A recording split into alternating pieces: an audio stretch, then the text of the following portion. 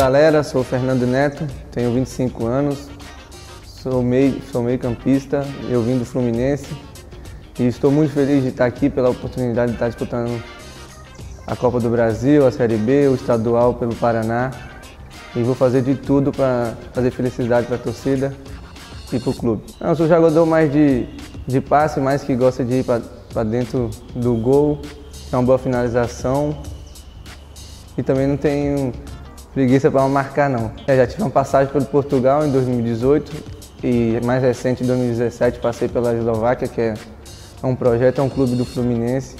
Foi um, uma experiência que, que me ajudou bastante lá. Ah, eu fiquei bastante feliz, já tinha informações do clube, tinha informações do meu empresário e assim que eu cheguei aqui fiquei bastante satisfeito com o pessoal que me recebeu, do aeroporto até a chegada aqui no CT, a estrutura do clube, os campos, o alojamento e isso aí, é, isso aí faz, faz a diferença dentro de campo. Eu acho que a pré-temporada é fundamental, né? A gente tem que já começar bem na pré-temporada, se doar ao máximo para a gente colher os frutos lá na frente. É, de mim pode esperar bastante, bastante vontade de vencer e que eles venham nos apoiar que a gente vai estar juntos felizes aqui nesse ano.